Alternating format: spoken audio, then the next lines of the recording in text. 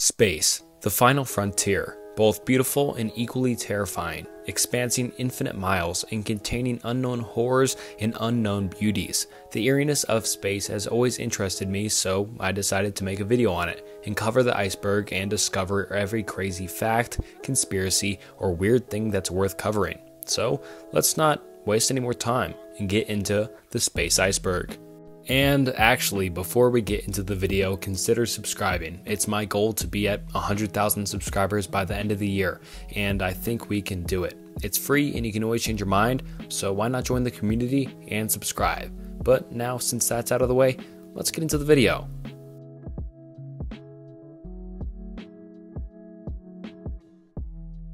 Alright, let's just dive straight into the iceberg, starting off with Tier 1 and the first entry being the 8 planets. Our solar system consists of 8 different planets. Closest to the Sun is Mercury, the smallest planet, followed by Venus, often called Earth's sister planet due to their similar size and composition.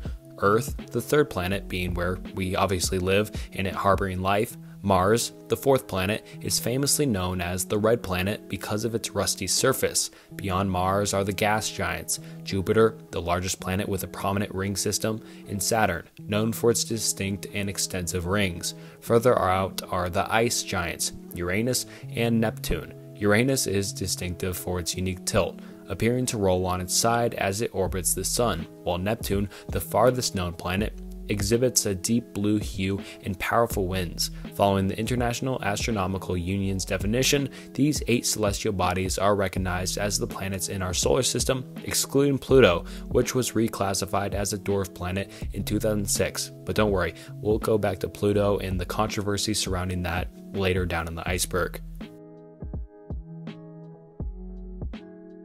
The Sun. The sun is the center of our solar system and obviously what shines bright in the sky every single day. A massive luminous sphere of hot plasma primarily composed of hydrogen and helium. It's by far the most significant object providing light and heat essential for life on Earth. It's located at the heart of our planetary system, and its gravitational pull holds all the planets, moons, asteroids, and other objects in orbit around it. This enormous star is about 4.6 billion years old and is in its stage of its life cycle, where nuclear fusion reactions in its core produce energy. These reactions generate intense heat and light that radiates into space, influencing the climate and conditions on all planets within its gravitational influence. The sun's surface temperature is approximately 5,500 degrees Celsius, and for most Americans, 9,932 degrees Fahrenheit while its core temperature exceeds millions of degrees Celsius due to the incredibly high pressure nuclear fusion occurring there.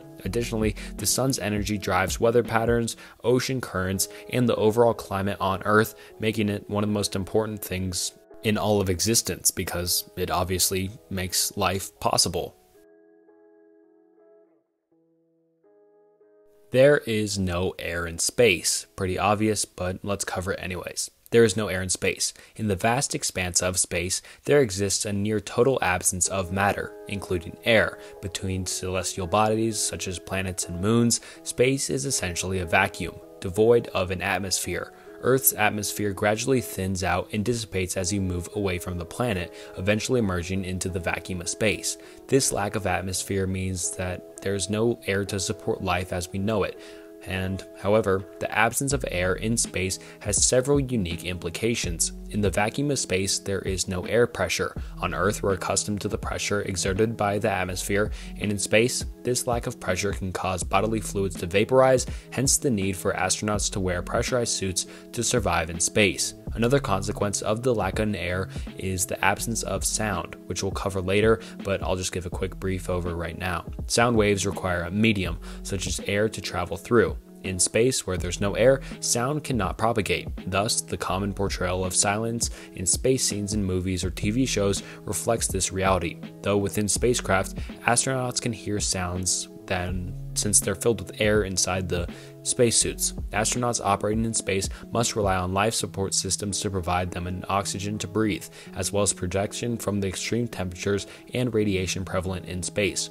Although certain celestial bodies, like planets or moons, may have their own atmosphere composed of different gases, the vast vacuum between these bodies remains void of any substantial air or matter.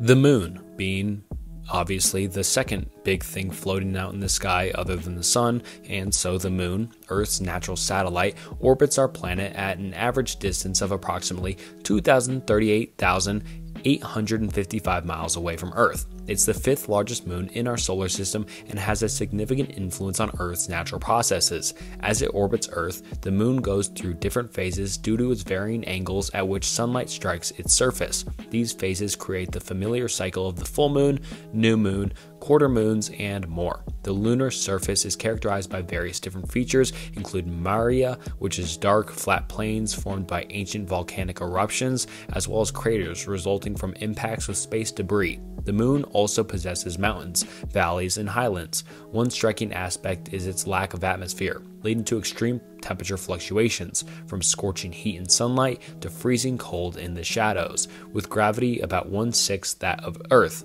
and that's why they can jump so high. And the moon offers a distinct experience for astronauts. During manned missions, astronauts on the lunar surface can leap higher and move with less weight compared to their experiences on Earth. And the moon's gravitational pull affects Earth's tides and helps stabilize our planet's axial tilt, which is crucial for maintaining our climate and seasons.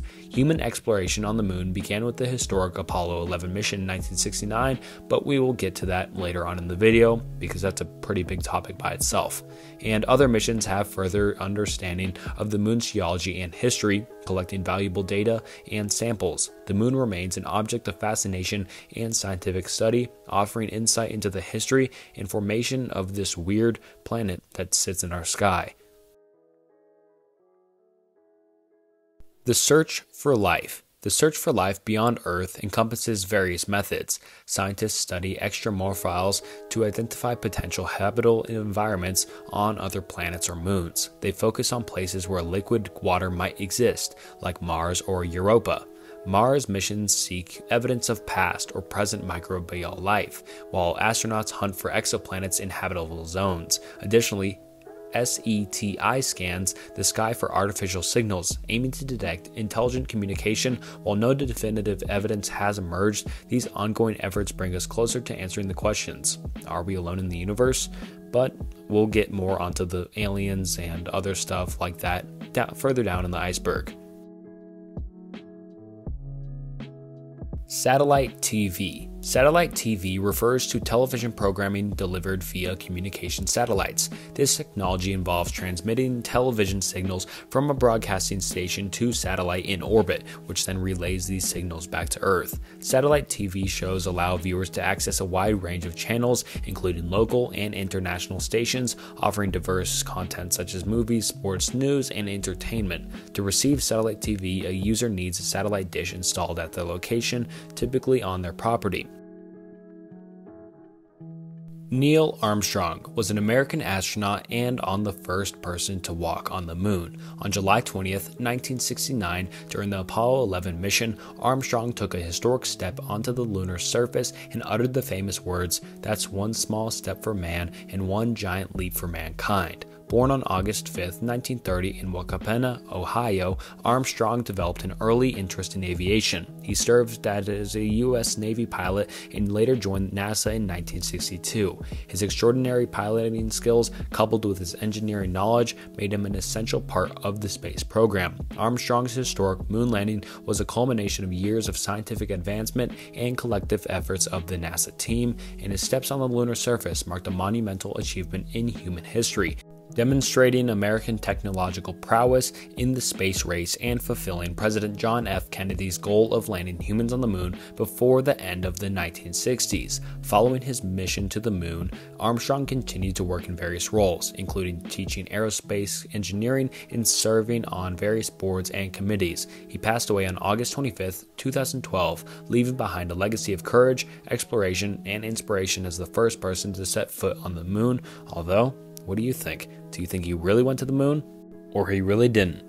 One of my favorite conspiracy theories, but that's a whole rabbit hole for maybe a whole different video.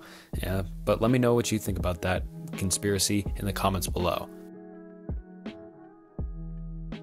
Killer asteroids, also known as potentially hazardous objects, otherwise known as PHOs, are celestial bodies such as asteroids or comets that have the potential to collide with Earth with devastating consequences. These objects range in size, and larger ones could cause catastrophic effects upon impact due to their kinetic energy. An impact from a substantial asteroid or comet could trigger regional or global devastation, leading to mass extinctions and significant environmental damage. Efforts to detect and monitor these near Earth objects are ongoing. Several observatories and space agencies around the world track and catalog these objects, aiming to predict these trajectories and assess the potential risks they pose to our planet. Organizations like NASA are dedicated to identifying and characterizing potentially hazardous asteroids to mitigate any potential threats. Various strategies have been proposed to address the potential impact of killer asteroids. These include developing early warning systems, devising methods to alter their trajectories, and exploring means to mitigate the damage caused by their potential impact. Alright, now on to Tier 2, starting off with the Space Shuttle, a pioneering and iconic spacecraft developed and operated by NASA, served as a versatile transportation system for space missions, consisting of the orbiter, solid rocket boosters, and external tank. The space shuttle enabled astronauts and cargo to be ferried to and from space. The orbiter, the primary component that carried crew and payload, safely returned to Earth after missions, distinguishing it as a reusable spacecraft. This program, active from 1981 to 2011, facilitated an array of missions including satellite deployment, scientific research, construction and maintenance of the International Space Station, and as well as servicing the Hubble Space Telescope. However, due to the safety concerns, high operational costs, and aging hardware, the Space Shuttle program was retired.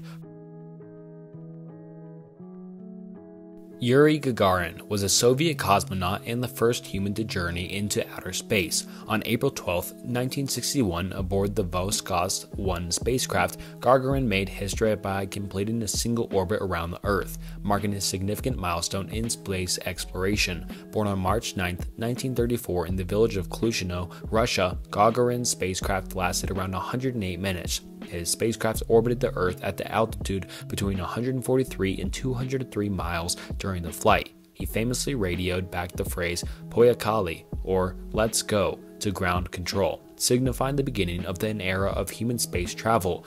Gagarin's successful mission made him an international hero and a symbol of Soviet space achievements during the space race, a period of competition between the United States and the Soviet Union in space exploration. He received numerous awards and honors, becoming a prominent figure in both the Soviet Union and globally. Tragically, Gagarin died on March 27, 1968, during a routine training flight. His legacy as the first human in space remains a pivotal moment in the history of space exploration and just history in general.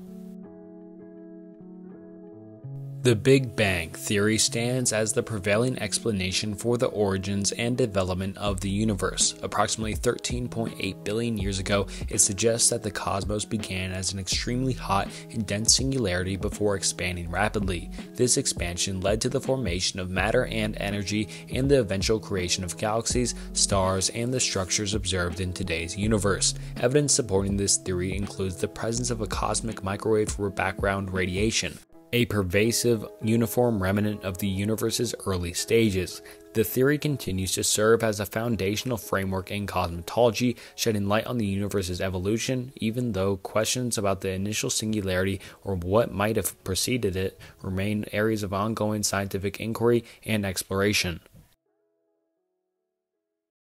Space has no sound. In the vast vacuum of space, sound, as we typically understand it, cannot be transmitted. Sound waves require a medium, like air, water, or solids, to travel and be perceived by our ears. In the absence of a medium, such as a near perfect vacuum of space, there's no air or matter to carry sound waves, resulting in silence. While space itself is devoid of sound, space missions or videos often portray sounds for the benefit of viewers or for technical purposes. For instance, sound effects might be added for documentaries, films, or simulations to represent what scientists theorize such a phenomena might sound like if they were audible. However, within spacecraft, there is air and thus sound. Astronauts can communicate and hear sounds within the confined, controlled environments of their spacecraft, as they are filled with air or other gases necessary for life support. But in the vastness of space between celestial bodies, there's no medium for sound to travel, creating a notably silent environment.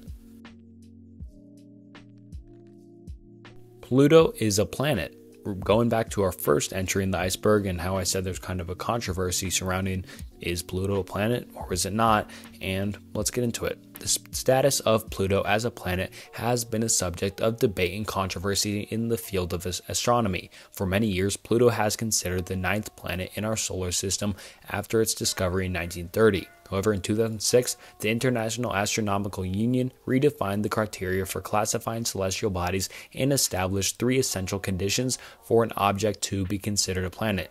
Number one, it must orbit the sun. Number two, it must be spherical in shape due to its gravity. Number three, it must have cleared its orbit or other degrees in objects and Pluto meets this first two criteria as it orbits the Sun and is spherical. However, it does not meet the third criterion, as it shares its orbit with other objects in the Kuiper belt, a region beyond Neptune populated by numerous icy bodies. Consequently, the IAU reclassified Pluto as a dwarf planet in 2006. This decision causes significant change in the understanding of what defines a planet, leading to Pluto no longer being considered one of the eight recognized planets in our solar system. Despite this reclassification, the debate and sentiment surrounding Pluto's status as a planet persist among some scientists, educators, and the public, with ongoing discussions about the criteria and classification of planets in our solar system.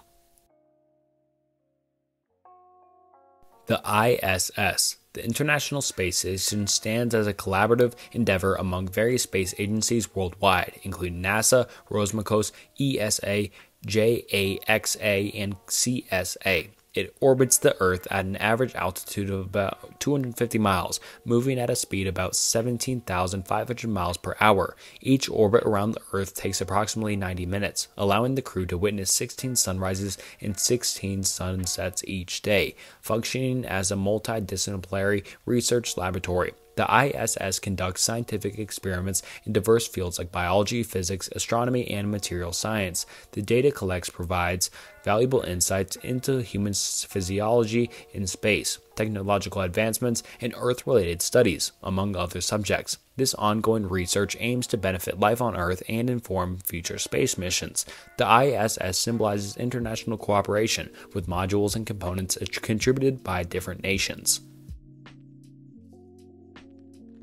Constellations Formations of stars in the night sky that create recognizable shapes or patterns have been observed and utilized by various cultures for thousands of years, serving as tools for navigation, storytelling, and time tracking. These patterns offer a sense of familiarity and orientation in the vastness of the night sky, named after mythological figures, animals, objects, or characters from ancient tales. Constellations include recognizable formations such as Orion, Ursa Major, which contains the Big Dipper, and Leo Traditionally, the International Astronomical Union, otherwise known as the IAU, recognized 88 different constellations, dividing the celestial sphere to cover the entire sky, offering distinct sections. While the stars within a constellation may seem close together when viewed from Earth, they might be a vast distance from each other in actual space. Their apparent proximity is the result of Earth's light of sight and perspective. Constellations historically played a crucial role in navigation, aiding travelers and sailors by providing orientation, and in modern astronomy, these groupings continue to serve as markers to pinpoint and locate positions in the night sky, aiding astronomers and stargazers in their observations and studies. These formations carry both cultural and scientific significance, weaving a rich tapestry of traditional and understanding across various different civilizations and historical periods. Elon Musk, and this is a pretty broad one to be honest. And it's just, I mean, Elon Musk, most people know him, and he's done a lot. And he's done stuff for cars, for space, for other sort of endeavors. But I'll just cover Elon Musk as a whole because why not? Then you'd know who Elon Musk is. Elon Musk, the renowned entrepreneur and business magnate, has made significant strides in various cutting edge technological sectors. Born on June 28, 1971, in Pretoria, South Africa, Musk has been a driving force in several transformative ventures. Co founding Tesla, he aims to revolutionize the automotive industry by promoting electric vehicles and substantial energy solutions. Tesla's electric cars and energy storage products have played a crucial role in advancing the global shift towards renewable energy. In addition to Tesla, Musk founded SpaceX, which I think this is actually referring to because, I mean, this is a space iceberg and SpaceX. But SpaceX is a company focused on reducing space transportation costs and enabling human settlement on Mars. SpaceX has achieved numerous milestones, such as sending cargo to the International Space Station and developing spacecraft for crewed missions. Musk's vision also extends to innovative projects like Neuralink, exploring brain computer interface technology in the Boring Company, which seeks to address urban transportation challenges through tunnel systems and high speed transit. Elon Musk's ambitious pursuits and groundbreaking initiatives have left a lasting impact on diverse sectors, including automotive, aerospace, energy, and technology. The sun will die someday. And this entry seems more fitting for my existential crisis iceberg, but this is space and the sun will die someday, so let's just cover it. Indeed, the sun, like any other star, has a finite lifespan. As a main sequence star, the sun's energy is produced through nuclear fusion in its core, primarily converting hydrogen into helium. Over time, the sun steadily burns its hydrogen fuel and it will eventually exhaust its primary fuel source. As the sun ages, it will undergo significant changes. In about 5 billion years, it will enter a phase known as a red giant phase. During this stage, the sun will expand and become many times larger than its current size. It will engulf and destroy the inner planets, including Earth. So everything we've ever done and ever will do will technically just be burned up one day. Unless we move to a different galaxy, of course, but that's where kind of the existential crisis comes because does everything we do not matter because it will just be burned up? But I'll leave that depressing stuff off to the side and maybe for a different video. This remnant core will significantly denser than the current sun, but it will no longer produce nuclear fusion, leading to a slow cooling and fading process over billions of years. While the sun's life cycle extends far beyond the human timescale, its eventual fate as a dwarf white mark marks the conclusion of its active life as a main sequence star. This natural life cycle of stars, including our sun, is an integral part of the universe's cosmic evolution. Curiosity rover. The Curiosity rover, part of NASA's Mars Science Laboratory mission, embarked on its journey to Mars, landing in Gale Crater on August 6, 2012 after its launch in November 2011. This sophisticated robotic vehicle stands out as a significant advancement in Martian exploration. Equipped with a suite of scientific instruments designed to study the red planet's geological features and its potential habitability, Weighing approximately 2,000 pounds, the rover is larger than its predecessors and hosts various tools, including cameras, a rock drill, and laser for chemical analysis, an array of scientific instruments for comprehensive experimentation. Initially planned for a two year mission, the Curiosity rover has far surpassed its expected operational lifetime and continues to operate effectively, making substantial discoveries. Among its significant findings are indications of an ancient stream bed, meaning that there was someday water on the Mars, which just blows me away because it's kind of crazy that water was there one day. Also, excites me to see what we're going to find in the future. The presence of organic molecules and evidence supporting the potential habitability of past Martian environments. This technological marvel showcasing advancements in navigation, scientific analysis, and communication capabilities continues to be a pivotal asset in NASA's extensive exploration and scientific investigations on the Martian surface. We choose to go to the moon. We choose to go to the moon is a famous line from President John F. Kennedy's speech derived on September 12, 1962, at Rice University in Houston, Texas. In this pivotal address, Kennedy passionately outlined the vision and commitment of the United States to undertake the monumental challenge of landing a man on the moon and returning him safely to Earth within the decade. The speech was a critical moment in the space race in a larger context of the Cold War between the United States and the Soviet Union. Kennedy's announcements rallied national support and sparked the Apollo program, ultimately leading to the successful lunar landing of Apollo 11 on July 20, 1969.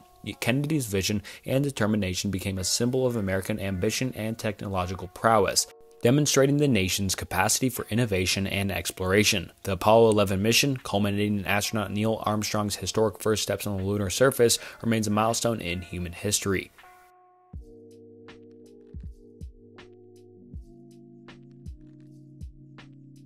Alright, now on to Tier 3, starting off with Sputnik. Sputnik, which means satellite in Russian, was the world's first artificial satellite, launched by the Soviet Union on October 4, 1957. Sputnik marked a significant milestone in human history by becoming the first human made object to orbit the Earth. Sputnik was a small spherical satellite equipped with radio transmitters, emitting a distinctive beeping sound that could be heard on Earth.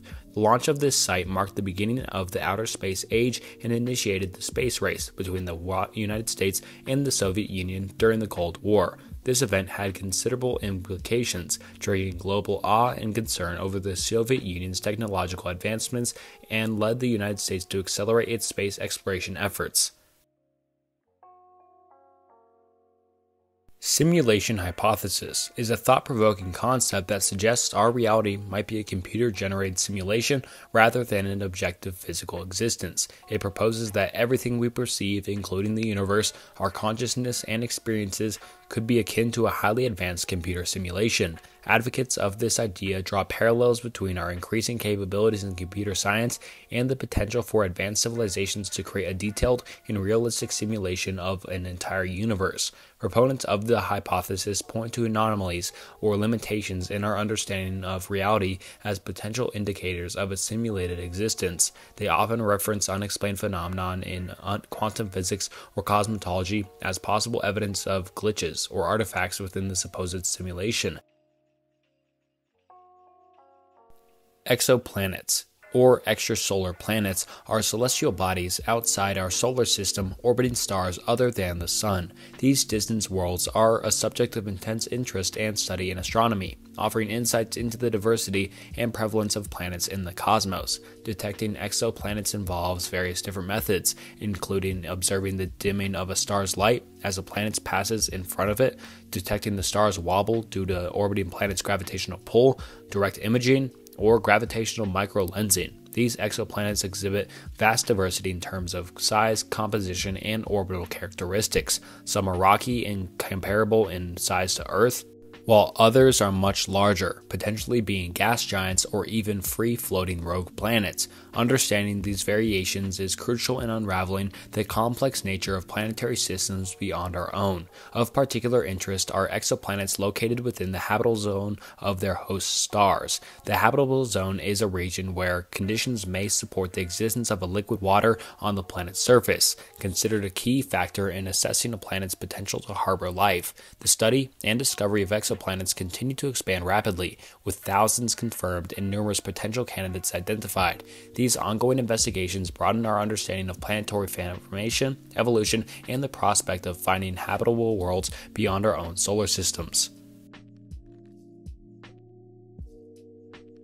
Uranus is sideways. Uranus is often referred to as a sideways planet due to its unique tilt. Unlike most other planets in our solar system, which have relatively upright rotations as they orbit the Sun, Uranus spins on its side. Its axis of rotation is nearly parallel to the plane of its orbit around the Sun. This extreme tilt causes the planet to appear as if it's rolling on its side as it orbits the Sun. In essence, Uranus essentially rotates on its side with its pole nearly in the plane of its orbit. This peculiarity results in extreme seasonal variations on Uranus, where each pole experiences about 42 years of continuous sunlight, followed by 42 years of darkness during its orbit around the Sun.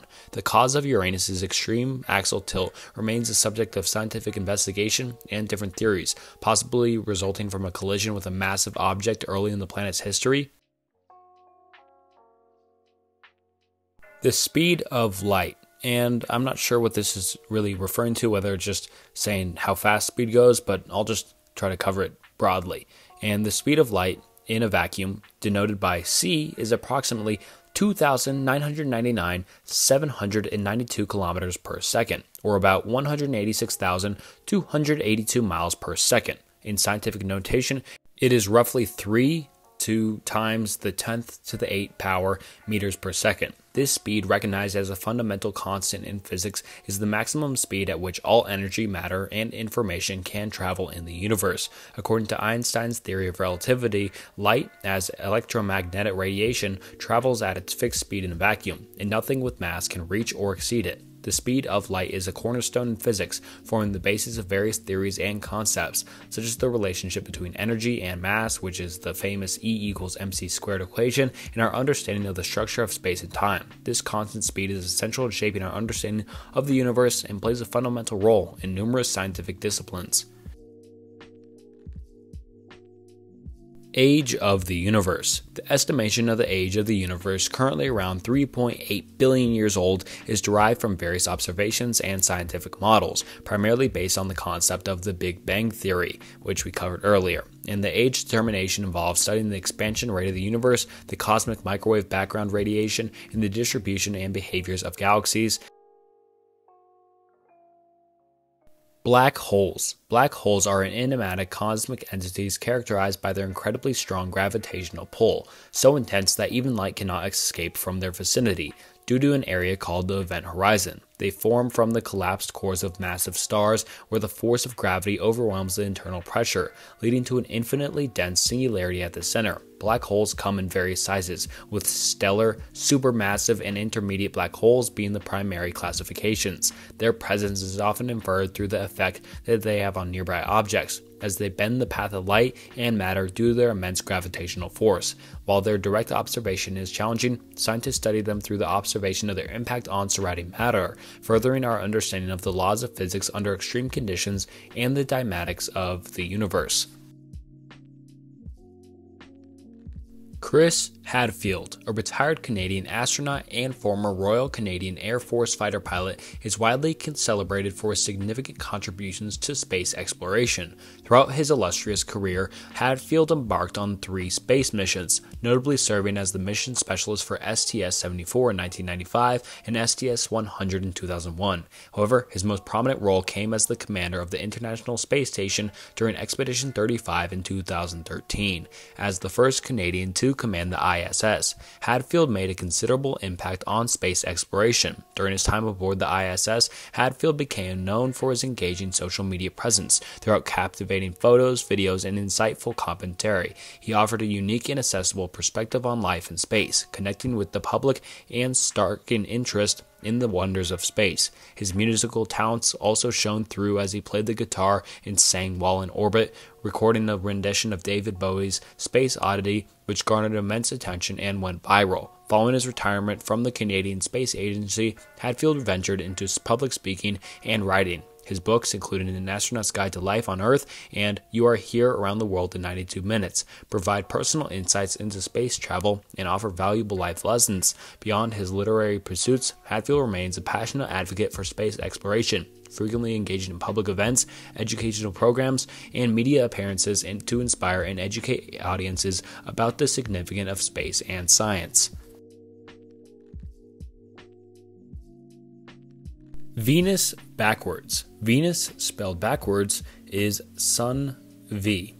And that's all I have for this one. I don't really know what else to do for this unless I'm missing something. But Sun V, and V being the Roman numeral, I'm pretty sure, for 5. So Sun 5, maybe? I don't know. Let me know if you know anything more about this in the comments below. Michael Collins, a distinguished American astronaut, made a big mark on space exploration on the command module pilot for the historic Apollo 11 mission in 1969.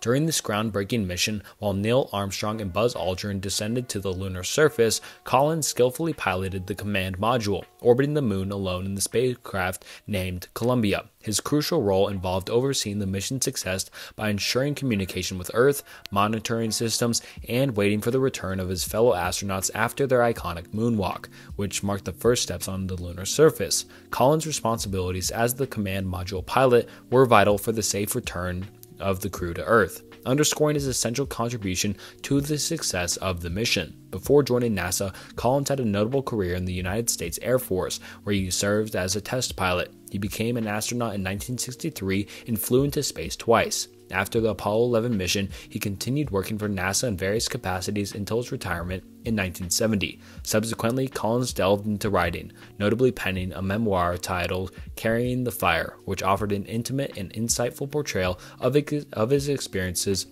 in the space program. His book remains highly regarded for its personal accounts and reflections on his journey through the Apollo missions and the world of space exploration.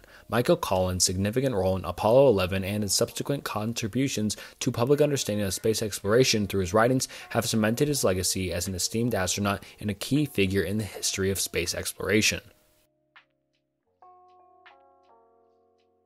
The moon is drifting away. Yeah, the moon is actually gradually moving away from Earth. This phenomenon is known as lunar recession. The moon's distance from the Earth is increasing at a rate of about 1.5 inches per year.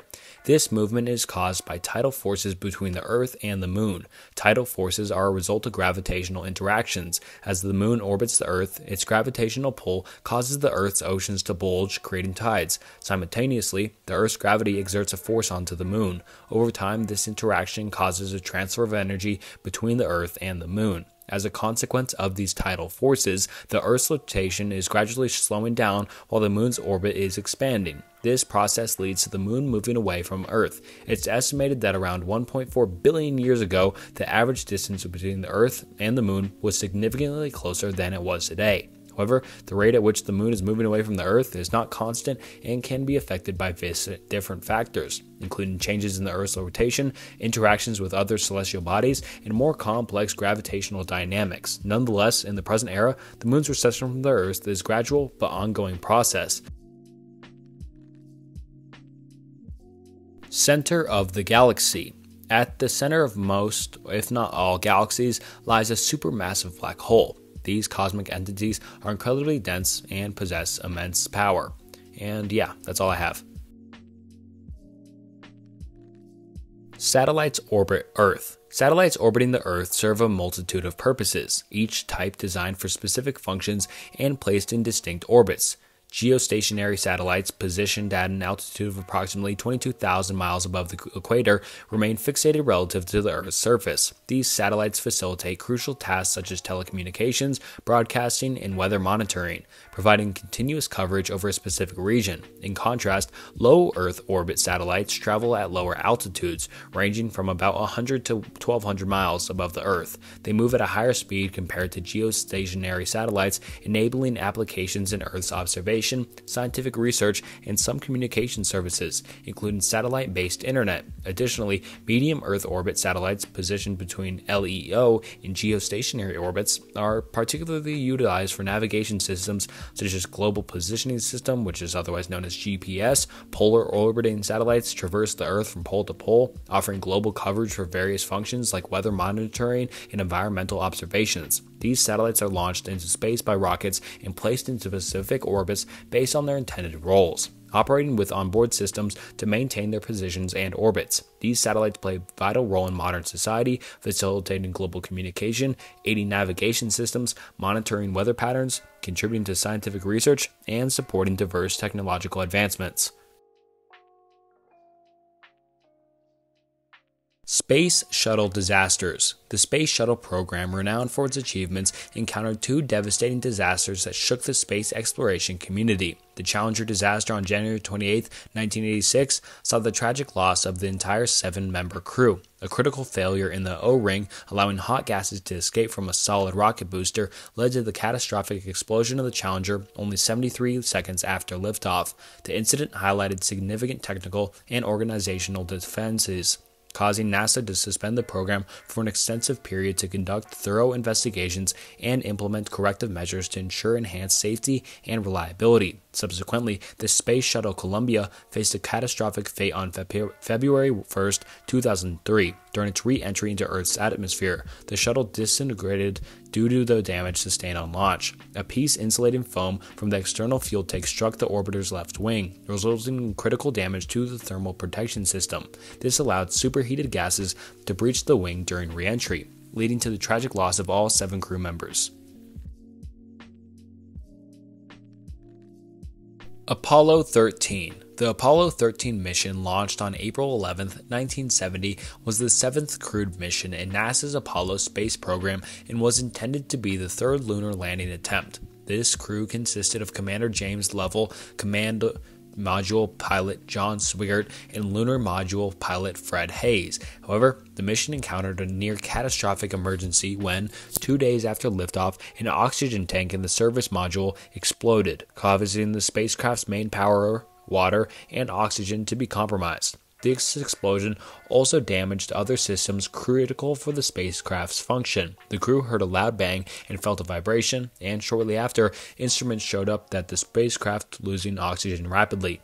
Facing a life threatening situation, the crew, with the help of Mission Control, worked tirelessly to conserve power, heat, and water, while fashioning a makeshift carbon dioxide removal system using materials on board the spacecraft. The command module was shut down and the crew transferred to the lunar module which was used as a lifeboat.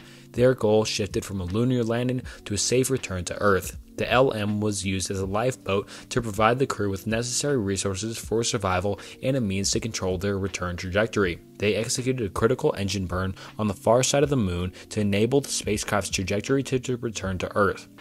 Despite numerous challenges, the crew successfully splashed down in the Pacific Ocean on April 17, 1970. The mission, although a failure in its original goal of landing on the moon, is widely regarded as a success failure due to the safe return of the astronauts under extremely difficult circumstances.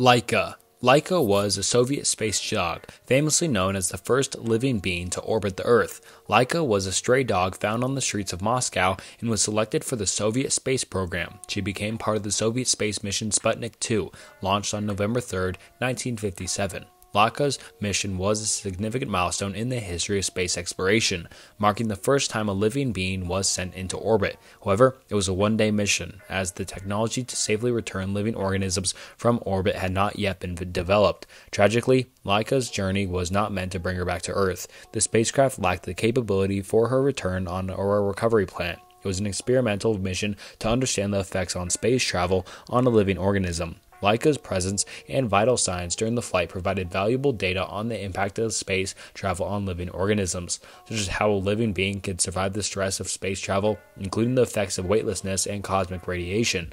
Sputnik 2 orbited the Earth for several days, but unfortunately, Laika did not survive the mission. It was later revealed that she passed away a few hours after reaching orbit due to stress and overheating within the spacecraft. Her sacrifice, however, contributed to advancements in space exploration and the understanding of the challenges and risks involved in sending living creatures into space.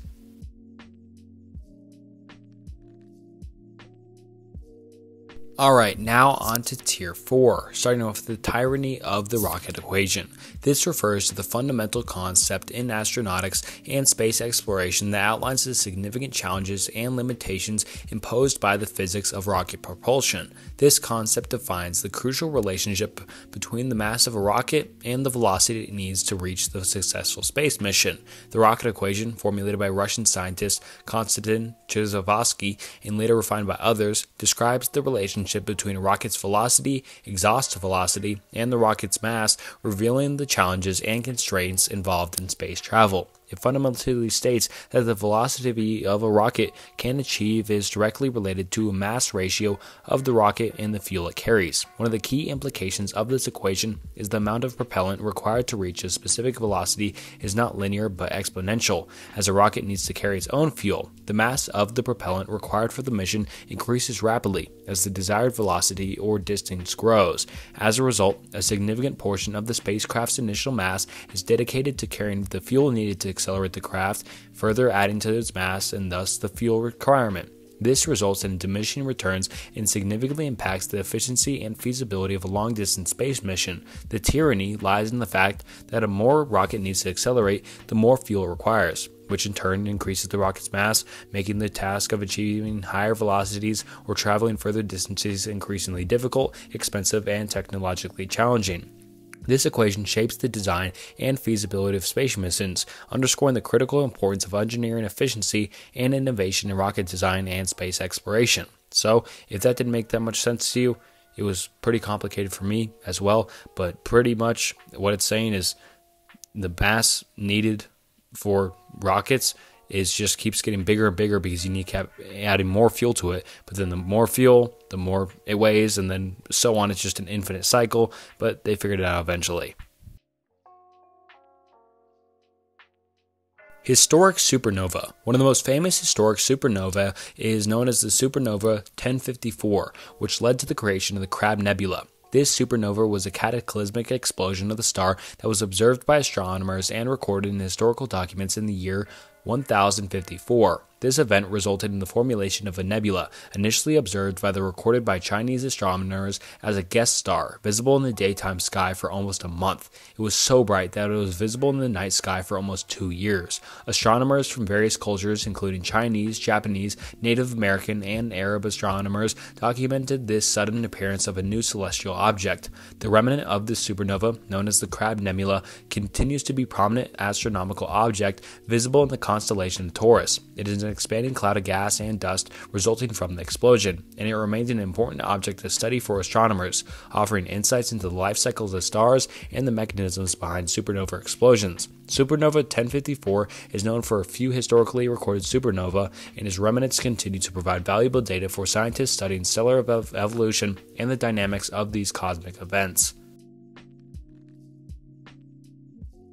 Stellar classification is a system used to categorize and describe stars based on their spectral characteristics, which reveal their temperature, color, size, and stage of evolution. The most commonly used stellar classification system is the Morgan-Keenan system, otherwise known as the MK system, which employs a combination of spectral types and luminosity classes. The spectral classification system organizes stars into different categories based on the characteristics of their spectra. The spectral classes and types are denoted by letters, which are O, B, A, F, G, K, and M, which represent the temperature and color of the stars. Each spectral type is further divided into subclasses indicated by numerical value through 0 through 9. The sequence from hottest to coolest is O, B, A, F, G, K, and M, with O type stars being the hottest and M type stars being the coolest. Another aspect of classification is the luminosity class, which characterizes stars based on their size and brightness. He uses Roman numerals, which are, you know, one, two, three, and then the I4, and then the IV, and then so on to represent different stages of stars' evolution and size, ranging from supergiants to main sequence stars to dwarfs. For example, our Sun is classified as a G2V star, signifying a G type star of moderate temperature and size in the main sequence. In addition to the main classes, there are less common spectral types, such as L, T, and Y, which are used to classify brown dwarfs and other celestial objects. This classification system helps astronomers understand the properties, behavior, and evolutionary stars of st- other stages, enabling them to identify and characterize stars based on their unique characteristics observed in their spectra. And I know the last two entries so far have been pretty, you know, in depth and more scientifical and stuff like that. And it won't be like that through the rest of the iceberg, but there is a few of these littered throughout this. TV static. In the context of outer space, the term TV static is sometimes used as a metaphor to describe certain cosmic phenomena. It's an attempt to illustrate the appearance of the background radiation or faint speckled patterns that can be observed in space when scientists study cosmic microwave background radiation or the distribution of matter across the universe. Cosmic microwave background radiation is a faint glow of radiation that permeates the entire universe. It is remnant of the early universe, originating from about 380,000 years after the Big Bang when the universe became transparent to light. This radiation is observed in all directions and represents the oldest light in the universe. When described as TV static, it's an analogy to use to depict the visual appearance of this faint radiation like the random noise or grainy pattern seen in TV static. Cosmic microwave background radiation appears as a seemingly random pattern when visualized through detectors and instruments used by astronomers. This radiation provides essential clues about the early universe's structure, the formation of galaxies, and the age of the cosmos. Cosmic rays. Cosmic rays are high energy charged particles originating from space that travel through the universe at nearly the speed of light. They consist of atomic nuclei, mostly protons and atomic nuclei from various chemical elements, as well as some from electrons, positrons, and other subatomic particles. These particles arrive at Earth from various sources, such as supernovas, active galactic nuclei, and other astrophysical events occurring outside our solar system. The origins of cosmic rays are diverse. Some cosmic rays are believed to be generated within our galaxy, while others might originate from outside the Milky Way. However, their exact sources and acceleration mechanisms are not entirely understood. Upon reaching the Earth's atmosphere, cosmic rays collide with molecules in the air and, preside, producing a cascade of secondary particles. These secondary particles interact and produce additional particles in what's known as extensive air shower which can be detected by ground based observatories and detectors. Studying cosmic rays helps scientists understand astrophysical phenomena such as violent processes occurring in stars and other cosmic objects that accelerate these particles to extremely high energies. Additionally, the study of cosmic rays offers insights into fundamental particle physics and contributes to understanding the behavior of matter and energy under extreme conditions in the universe. Micrometeorites are tiny particles of extraterrestrial material, usually small flecks of rock or metal, that enter the Earth's atmosphere and reach the surface without burning up completely. These micrometeorites are often the remnants of asteroids, comets, or other celestial bodies that have disintegrated or broken apart as they traveled through space. These particles are typically very small, usually ranging in size from a fraction of a millimeter to a few millimeters. Some can even be smaller, reaching the submillimeter or micron scale. Due to their diminutive size and low mass, they don't cause any damage when they enter the Earth's atmosphere and gently settle on the planet's surface. They can be found virtually anywhere on Earth, but they are more easily collected in areas less affected by human activity, such as polar regions, remote deserts, or on ocean beds. Scientists collect and study micrometeorites to better understand the composition of extraterrestrial matter, the evolution of celestial bodies, and the processes that occur in space. The Kuiper Belt an extensive region located beyond Neptune in the outer reaches of our solar system is a celestial zone teeming with icy objects, debris, and dwarf planets, spanning roughly 30 to 55 astronomical units from the Sun. This belt is a repository of remnants from the early stages of our solar system's formation, composed mostly of frozen volatile substances like water, methane, and ammonia. These icy bodies offer a glimpse into the primordial materials from which planets and other celestial bodies emerged. Among its members are notable dwarf planets such as Pluto, Eris, Makemake, and Haumea. The Kuiper Belt was captured the attention of astronomers and space explorers with the New Horizons spacecraft's historic flyby of Pluto in 2015, providing groundbreaking insights into the distance and enigmatic region. This area's study not only sheds light on the diverse compositions of celestial objects, but also deepens our understanding of the evolution and conditions of the early solar system. The Oort cloud, a conceptual region far beyond the Kuiper belt in the outermost part of our solar system, it's placed as a vast and spherical collection of icy objects, remnants from the solar system's earliest parts, and though not directly observed, it's believed to stretch from around 2,000 astronomical units to an astonishing 100,000 astronomical units from the Sun.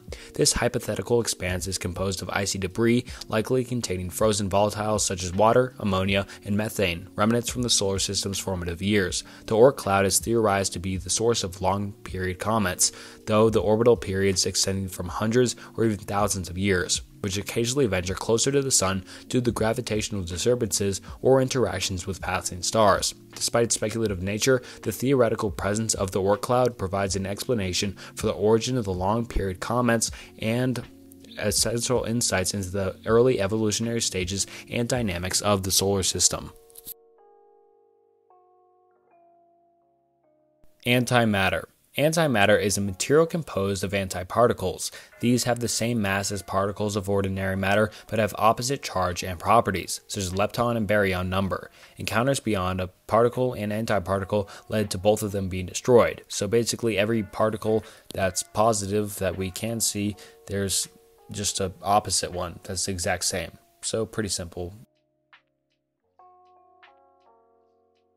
Corned beef sandwich and I'm not really sure what this entry is even referring to. I couldn't find that space missions follow a corned beef sandwich diet or anything like that. So, if anyone knows anything about corned beef sandwich in space or outer space, let me know. The Fermi paradox, and I personally love this just paradox and idea as a whole, and I might make a video on it someday because it's just so thought provoking about why there hasn't been any extraterrestrial civilizations found, but let's get into this entry. And the extraterrestrial civilizations about the lack of evidence or contact with such civilizations. Named after the physicist Enrico Fermi, the paradox possesses the question if there's a high likelihood of advanced extraterrestrial civilizations in our vast universe, why haven't we detected or encountered any yet? This apparent paradox revolves around several key considerations the vastness of the universe, the universe is immense, hosting billions of galaxies, each containing billions of stars, many of which are likely to have Earth like planets. The probability of habitable planets and potential extraterrestrial life appears high, and the abundance of time. Given the vast age of the universe, many civilizations could have arisen and potentially developed advanced technology long before human civilization.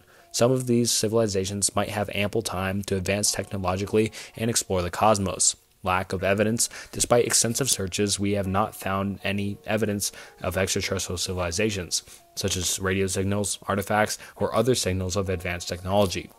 Various hypotheses and explanations attempt to address the Fermi paradox, including the possibility that extraterrestrial civilizations might just be really rare, that they might be deliberately avoiding contact, or that advanced civilizations might destroy themselves before making contact. Additionally, it's plausible that our current technological capabilities are insufficient to detect any other civilizations, or that the distances between stars and galaxies are simply too vast for direct contact or communication. The Fermi paradox stimulates discussions and ongoing research in fields such as astronomy, astrobiology, and SETI, which is the search for extraterrestrial intelligence.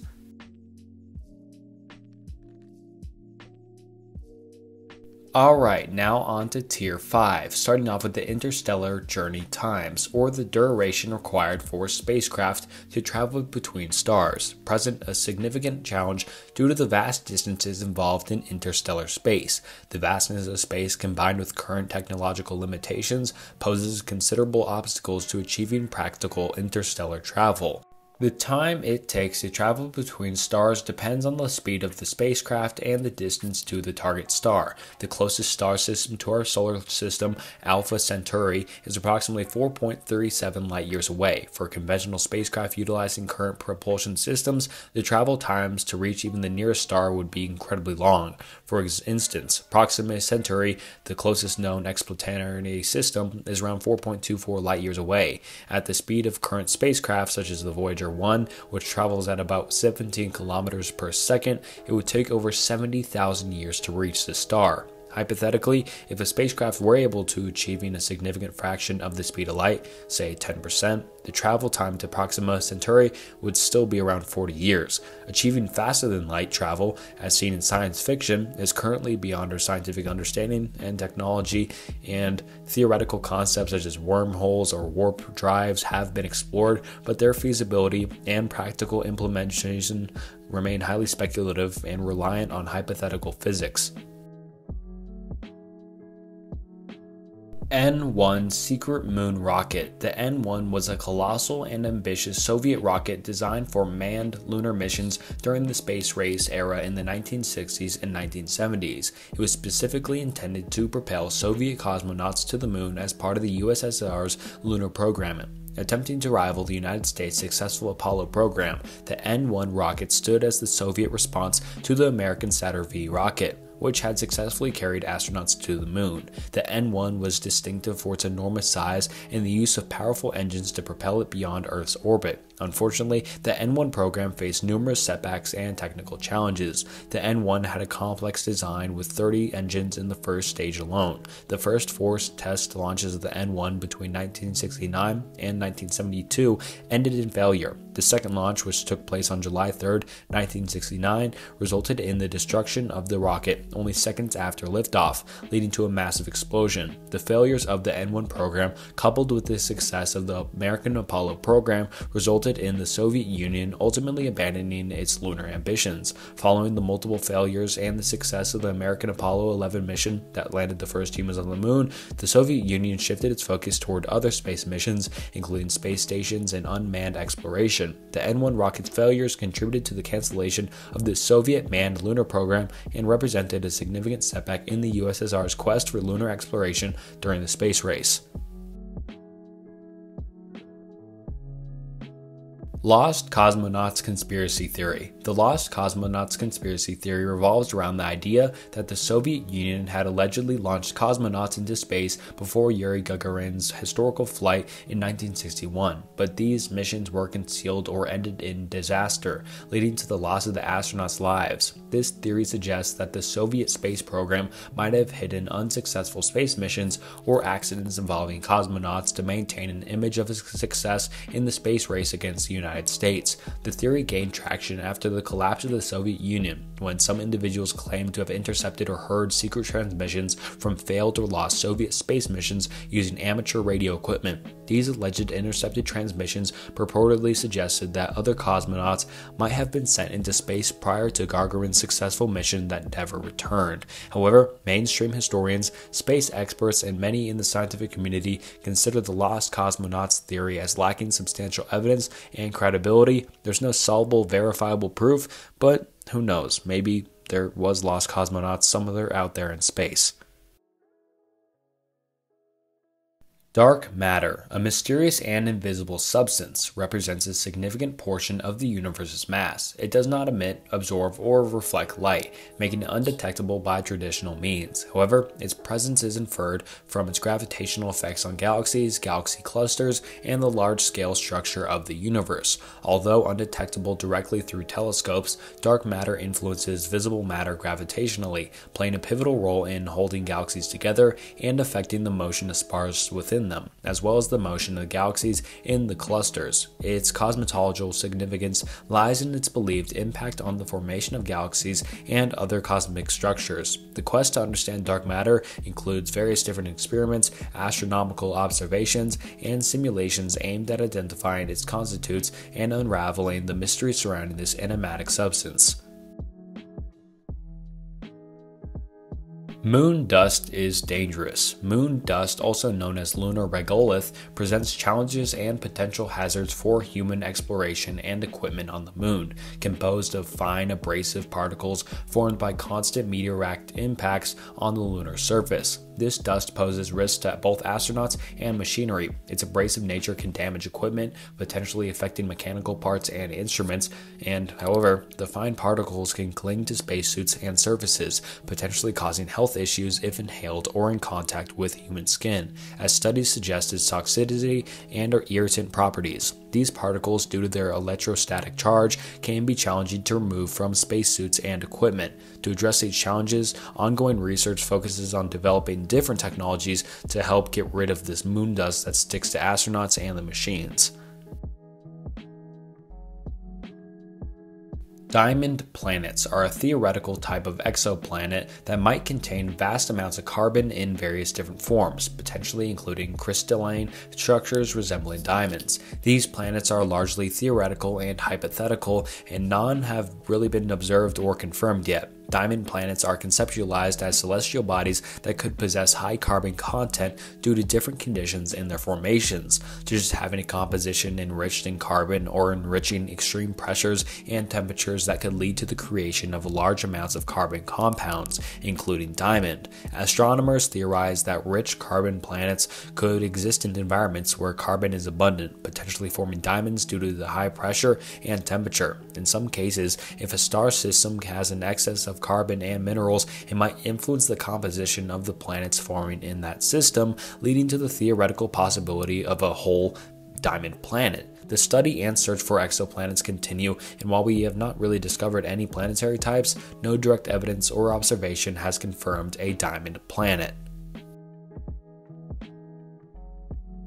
Solar sails are a form of spacecraft propulsion that harnesses the momentum of photons, which are particles of light, from the sun to propel a spacecraft through space. These sails utilize the pressure of sunlight, which, although individually very weak, can exert a force on a large, lightweight, reflective surfaces. The basic concept involves deploying a large, thin, reflective sail in space. As sunlight interacts with the sail's surface, the transfer of momentum occurs due to the reflection and absorption of the photons photons. These continual transfer of momentum provides a small but consistent acceleration, propelling the spacecraft forward without the need for traditional propellants or engines. The benefits of solar sails include their potentiality for long duration space missions, as they can continuously receive propulsion from the sun's light, allowing spacecraft to reach high velocities over time. They are particularly useful for missions that do not require rapid acceleration but can benefit from continuous and low energy propulsion. The flags on the moon are now white. The flags planted on the moon during the Apollo missions have likely undergone significant changes due to the exposure to extreme conditions on the lunar surface. Over time, the flag's colors may have been bleached or faded due to the unfiltered, harsh sunlight, extreme temperature variations, and exposure to solar radiation and micrometeorite impacts. The flags placed by the Apollo astronauts were predominantly made of nylon, and though they were reported to have anodized aluminum frames to maintain their shape, the flags themselves were not designed to withstand the harsh lunar environment for extended periods. Consequently, the prolonged exposure to ultraviolet radiation and temperature fluctuations on the moon might have caused the colors to fade and the flags to deteriorate. While challenging to confirm the exact current condition of the flags without recent direct observations, it is widely believed that the flag's original colors might have significantly altered due to the extreme conditions of the lunar surface.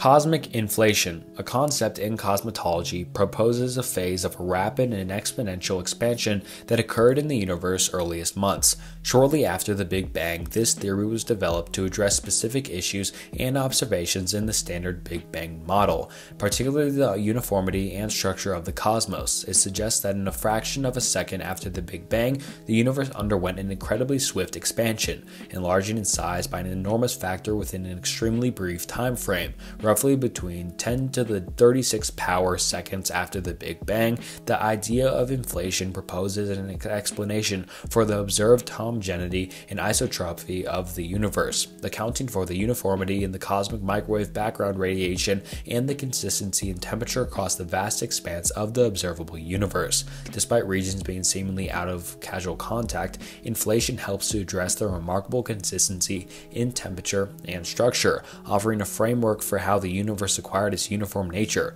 while the precise mechanisms and details of inflation continue to be the subject of ongoing research and exploration, this theory can become an integral part of the prevailing Big Bang model. Apollo 1 was the designation for the first manned mission in NASA's Apollo program, intended to test the command and service module in Earth's orbit. However, the mission encountered a tragic accident during a pre launch test on January 27, 1967, resulting in the loss of three astronauts Virgil Gus Grissom, Edward H. White II, and Roger B. Chaffee. The accident occurred during a plugs out test where the spacecraft's command module was being tested under its own internal power without without being connected to the ground facilities. A spark in the pure oxygen atmosphere of the command module ignited a fire, rapidly spreading in the cabin due to the flammable materials, while it led to the tragic loss of the crew. The investigation that followed revealed numerous design and safety flaws in the spacecraft's construction and led to substantial changes in the Apollo program's safety protocols and spacecraft design. Mir incidents. The Russian space station Mir, operational from 1986 to 2001, encountered several incidents and challenges during its tenure of in orbit. One of the most significant incidents occurred in 1997 when a fire broke out due to an oxygen generating canister, causing substantial damage and sparking an emergency situation. The crew managed to extinguish the fire, but the incident raised concerns about safety and highlighted the potential risks of operating an aging space station. Mir also faced collisions and technical malfunctions throughout its operational years. In 1997, a cargo spacecraft collided with Mir during a docking attempt. causing damage to the Spektr module and resulting in the loss of power. The space station encountered small technical glitches as well including issues with power supply and cooling systems, which demanded swift and resourceful solutions from cosmonauts and ground control to stabilize the situation. Despite these challenges, Mir served as an important platform for human space flight experience, long duration missions, and scientific research, fostering international collaboration in the whole space exploration. Acceleration and gravity equivalence. The equivalence between acceleration and gravity, proposed by Albert Einstein's theory of general relativity, states that there's an indistinguishable relationship between the effects of acceleration and gravitational fields in a local region of space time. In this principle, if one were in a sealed environment experiencing uniform acceleration, akin to being pushed against the floor, the sensation would mimic the force felt due to gravity on Earth. This concept implies that gravitational fields and accelerated reference frames frames are fundamentally linked, suggesting that gravity, rather than being a force between two masses as Newtonian physics described, is better understood as the curvature of space time caused by mass and energy. This fundamental equivalence principle forms the basis of Einstein's exploration of gravity and the relationship to the curvature of space time, offering profound insights into our understanding of the nature of gravity and its effects on the fabric of the universe.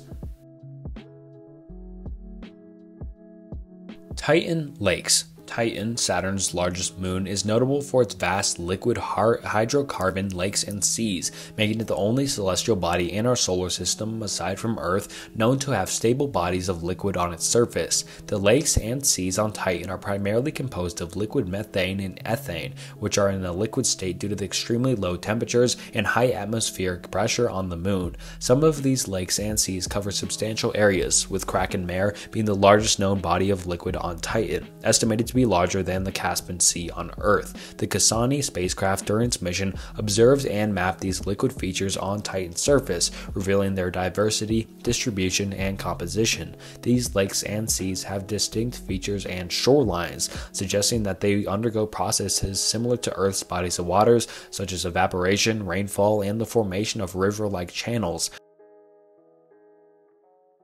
WOW signal. The WOW signal refers to the intriguing and unexplained radio signal detected by the Big Ear Radio Telescope at Ohio State University on August 15, 1977. Astronomer Jerry R. Ehman noticed an unusually strong and narrowband radio signal picked up by the telescope while it was conducting a sky survey to search for extraterrestrial signals. The signal was named WOW due to Ehman's handwritten comment on the computer printout of the data where he circled the alphanumeric sequence sequence 6EQUJ5 and wrote wow next to it. The signal was notable for strength and narrow frequency, lasting for about 72 seconds before disappearing. It was observed in the 1420 MHz frequency, where it was significant as the frequency is within the range of hydrogen, the most abundant element in the universe, naturally emits radio signals. Alright, now on to tier 6, starting off with Vladimir Komarov's sacrifice. Vladimir Komarov was a Soviet cosmonaut who tragically lost his life during the Soyuz first mission, which launched on April 23, 1967. The mission encountered various technical problems and ultimately ended in a fatal crash, making Komarov the first human to perish during a space mission. The Soyuz 1 mission was fraught with technical issues from the start. Malfunctions in the spacecraft systems occurred, including issues with the solar panels and the primary parachute. Despite these problems, Komarov bravely attempted re entry, fully aware of the high risks involved. He knew the dangers that craft faced it, but he refused to abandon the mission, fully understanding the critical importance of his role. The attempted return to Earth provided fatal when the spacecraft's parachute failed to deploy correctly during the descent and the capsule plummeted to the ground, resulting in a crash that tragically took Komarov's life. Komarov's sacrifice remains a significant and somber event in the history of space exploration. His bravery and dedication, even in the face of known risks and technical issues, serve as a testament to the dedications of early astronauts in their pursuit of space exploration. Gay astronauts. There have been several astronauts who identify as LGBTQ and have contributed significantly to space exploration. Notably, some have come out publicly after their time as astronauts, while others have shared their experiences following their career in space. For an instance, former NASA astronaut Sally Ride, the first American woman in space, came out as lesbian after her astronaut career. Similarly, Charles P. Bolden Jr., a former NASA administrator and retired astronaut, expressed his support for LGBTQ rights and representation in STEM fields. While he did not publicly come out as gay during his tenure as an astronaut, he has been an advocate for diversity and inclusion in the aerospace community. Quasars, abbreviated from quasi-stellar radio sources, represent some of the most luminous and energetic objects in the cosmos. Fueled by supermassive black holes at the centers of the galaxies, these celestial powerhouses emit vast amounts of electromagnetic radiation across the spectrum. Their exponential brightness can outshine entire galaxies, releasing energy equivalent to hundreds of galaxies combined, encircled by a swirling accretion disk of superheated gases and dust. These supermassive black holes draw in surrounding material, generating immense energy as it falls into the black hole. The light emitted by quasars is often highlighted red shifted, indicating their great distance from Earth, providing a glimpse into the early stages of the universe's development. Carrington event, occurring in 1859, stands as a monumentous solar storm that resulted from a solar flare and a subsequent coronal mass ejection from the Sun. Named after astronomer Richard Carrington, who observed the initial solar flare, this event triggered an intense geomagnetic storm upon its arrival at Earth. The impact led to dazzling auroras visible at unusually low altitudes, while causing widespread disruptions to telegraph systems. Telegraph operators reported induced electrical current currents and wires, resulting in shocks, fires, and equipment malfunctions. This historic event remains significant as it illustrates the potential effects of extreme space weather on our actual planet and highlights the importance of understanding and preparing for such occurrences, especially in the context of our modern, technologically reliant society. Tabby's star, scientifically known as KIC 8462852 drew attention due to its irregular and enigmatic changes in brightness observed by NASA's Kepler Space Telescope. These alterations in luminosity were highly unusual, displaying abrupt and inconsistent dips that did not align with st- typical stellar behavior or known planetary transits. Scientists proposed several different theories to account for these irregular dimming patterns, including comet swarms, asteroid collisions, or uneven dust clouds, yet none could entirely explain explain the observed anomalies.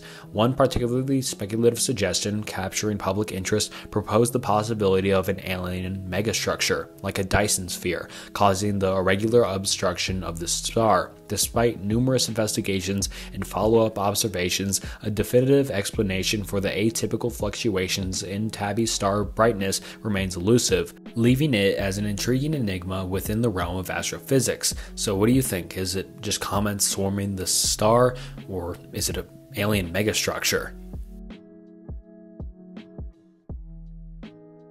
Saturn's rings will disappear. Saturn's rings, primarily composed of icy particles and debris, face gradual erosion and depletion, influenced by collisions, gravitational interactions with Saturn's moons, and solar radiation pressure. Estimates suggest that potential disappearance in tens to hundreds of millions of years. Surprisingly, they might not be as ancient as the planet itself, potentially forming relatively recently and possibly dissipating and reforming multiple times over and over and over in Saturn's lifespan.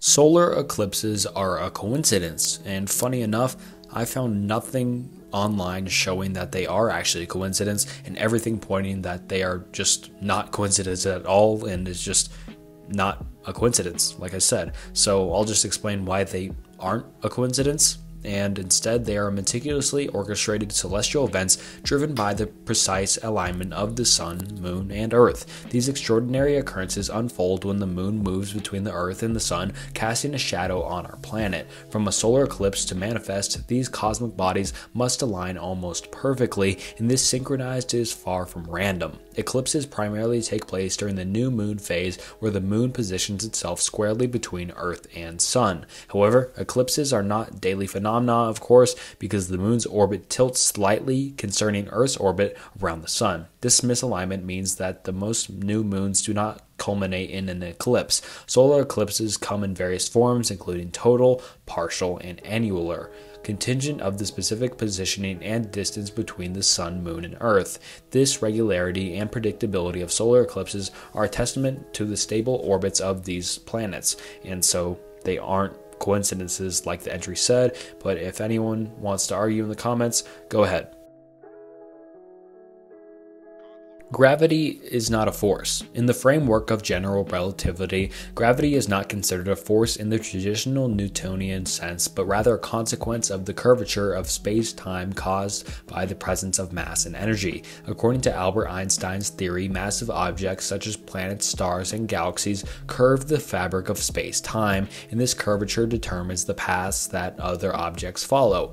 Objects move along what they perceive as straight lines within this curved space time creating the appearance of gravitational attraction. In this context, gravity is not a force acting between two objects, but rather the result of the way matter and energy bend the fabric of the universe, influencing the motion of objects within that curved space where we are. So it's not technically gravity, it's technically the Earth and the space time and stuff like that. Pretty complicated, but I hope I explained it decently. Martian canals. The idea of Martian canals was a historical concept born from a 19th century observations of Mars. Italian astronomer Giovanni Schiaparelli, known for his meticulous observations of Mars, used the term canali to describe the linear features he observed on the Martian surface. However, canali was mistranslated into English as canals, which implied artificial structures rather than natural formations. These perceived canals sparked public fascination and speculation that intelligent beings might have constructed these long, straight features to channel water from the polar ice caps across the Martian surface. These notions gained attention and inspired many to theorize about the possibility of life and aliens on Mars. Later observations from more advanced telescopes, particularly those from the Mariner and Viking missions in the 1960s and 70s, provided more detailed and accurate images of Mars. These observations revealed that the canals were natural formations, such as geological features, ridges, or optical illusions. The canals observed by Schiaparelli were likely created due to limitations in the telescopic technology of that time, combined with the human tendency to perceive patterns where they don't exist at all, a phenomenon known as pareidolia. Human ashes in the outer solar system. Sending human ashes or remains to the outer solar system, particularly beyond Earth's orbit, is a concept that has been proposed and to some extent actually carried out. For example, some missions like the New Horizons spacecraft, which flew by Pluto, and the Cassini mission, which orbited Saturn, have carried a nominal amount of human remains or symbolic portion of cremated ashes aboard. These instances have involved small quantities of ashes contained within a secure and well sealed compartment as part of outreach or memorial efforts, allowing individuals to honor deceased loved ones by sending a symbolic portion of their remains on missions exploring the outer reaches of the solar system. However, due to the vast distances and harsh conditions in the outer solar system, where spacecrafts can encounter extreme cold, radiation, and other challenges, sending human ashes or remains beyond Earth's orbit is primarily symbolic and not intended for burial or scattering in the conventional sense. Space time might be 4D. In modern physics, space time is commonly conceptualized as a fourth dimensional construct, combining the traditional three dimensions of space with an additional dimension of time. This depiction of space time as a unified continuum is a foundational concept in Einstein's theory of special and general relativity. It integrates that three spatial dimensions length, width, and height, how we all see it, with time as the fourth dimension, creating a single framework where events and interactions in the universe occur. This fourth dimensional space time continuum allows for a comprehensive understanding of the interwoven nature of space and time, offering insights into the behavior of matter, energy, gravity, and the fundamental structure of the cosmos. While human perception often distinguishes space and time as separate entities in the domain of modern physics, they are intrinsically linked with the unified concept of space time.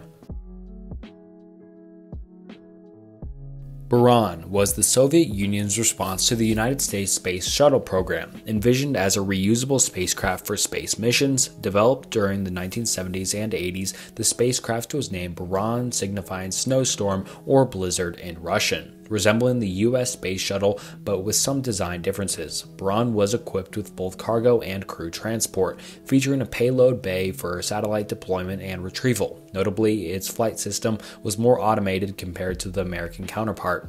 In its only orbital flight on November 15, 1988, an unmanned test mission was launched atop a rocket. The spacecraft completed two orbits before a successful return and landing. However, despite the successful test, the program was halted due to the collapse of the Soviet Union and financial constraints. Only one operational Buran orbiter was constructed, and the program was ultimately discontinued. Tragically, the sole completed spacecraft was destroyed in 2002 due to the collapse of the hangar housing the craft craft, Buran, though short lived, remains a testament to the Soviet advancements in space technology and serves as a brief but significant chapter in the history of space exploration.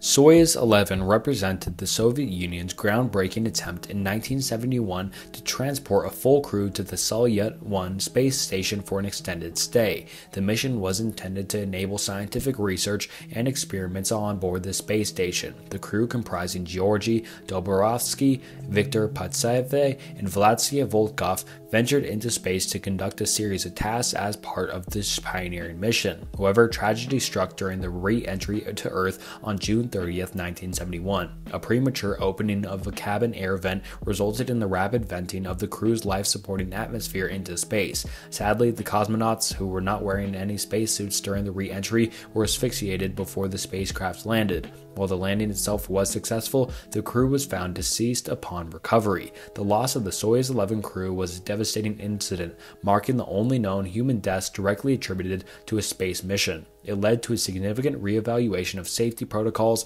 and helped design other rockets in the future. Alright, now on to Tier 7, starting off with the Pioneer Anomaly. The Pioneer anomaly refers to the unexplained deviation noticed in the trajectories of the Pioneer 10 and Pioneer 11 spacecraft as they journeyed beyond our solar system. Launched in the early 1970s, these probes exhibited an unexpected deceleration, a small and constant sunward acceleration. Once they ventured past the gravitational influences of the outer solar system, the unanticipated decrease in speed could have reconciled by known gravitational forces, leading to various proposed explanations, including asymmetric heat radiation, gas leaks, or unaccounted for gravitational interactions beyond the solar system. Despite extensive investigations, no definitive explanation has been established, leaving the Pioneer anomaly as an enduring mystery in space exploration. Martian waterfall. While evidence from various spacecraft, such as the Mars Reconnaissance Orbiter, has suggested the existence of ancient river valleys, lake beds, and even the possibility of intermediate seeps of briny water, the notion of a conventional Earth like waterfall with freely flowing water on Mars has not been observed or confirmed, but it's possible that once in the history of Mars there was a water like waterfall like water feature that existed, and maybe we will come across one sooner than later as we keep going in discovering more of Mars. Space blindness, known scientifically as spaceflight associated neuroocular syndrome, and that's a hell of a name for space blindness, but otherwise known as SANS or SANS, presents various visual impairments observed in astronauts after prolonged stays in space. Symptoms include blurred vision, focus difficulties, and changes in visual acuity, along with alterations in eye structure, such as modifications in the shape of the eyeball and retinal nerve. Swelling on the optic nerve is also reported among affected individuals. The causes of SANS are believed to be linked to prolonged exposure to microgravity, which disrupts fluid distribution in your body, leading to fluid shifts and increased intracranial pressure. These changes can affect the eyes and visual acuity, posing potential risks for astronauts both during and after space missions. The implications of SANS are significant, potentially impacting the performance of crucial tasks while in space and raising concerns for long term visual health post mission.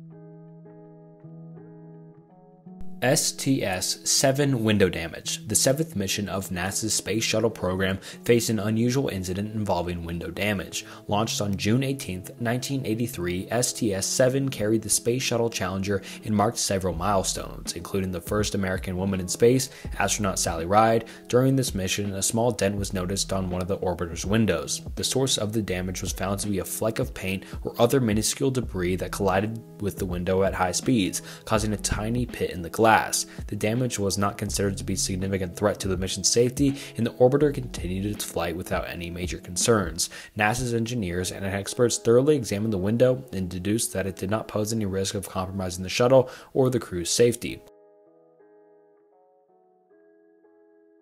Ah Oumuamua Spaceship Conspiracy this interstellar object known as Oumuamua, detected in 2017 as it passed through our solar system, sparked a variety of hypotheses, with one of the most sensational being the speculation that it might be an alien spaceship. Its unusual features, particularly its elongated shape and atypical trajectory, led to speculation about its potential artificial origin. Oumuamua's lack of observable comet-like activity added to the intrigue, as it did not display the expected tail or typical features associated with natural celestial celestial bodies. Some propose that its non gravitational acceleration might suggest artificial propulsion. However, the scientific community largely leaned towards natural explanations for Oumuamua's characteristics. Astronomers suggested that the object might be fragmented from a disintegrated body or planet or a particularly shaped asteroid or comet. While the idea of Oumuamua being an alien spaceship was an intriguing theory, it lacks substantial evidence to support it and remains speculative.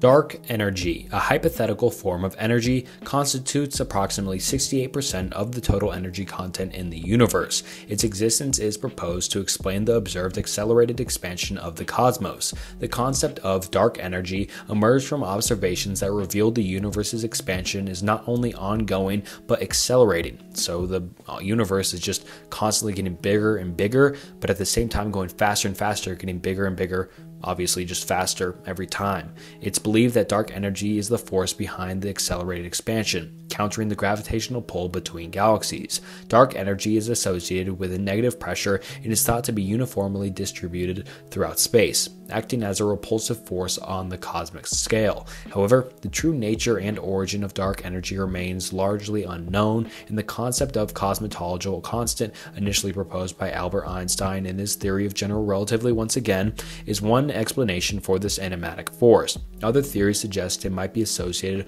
with hypothetical fields that dynamically influence the properties of space. Understanding dark energy is crucial in cosmology as it significantly influences the future fate and structure of the entire universe.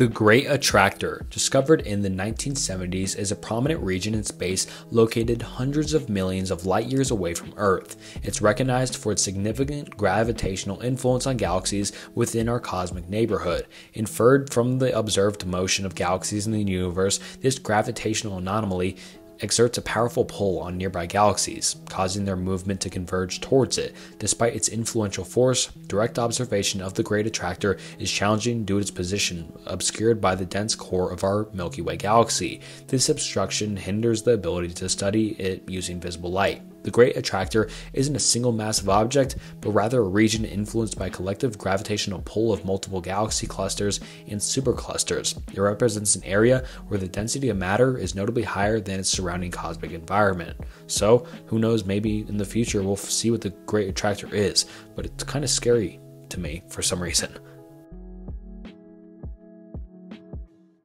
String theory. The string theory is a theoretical framework in physics aiming to describe the fundamental components of the universe. It proposes that particles aren't zero dimensional points but tiny, vibrating one dimensional strings. These strings vibrate at varying frequencies, producing different particles based on their vibrational modes, offering a way to understand particle properties.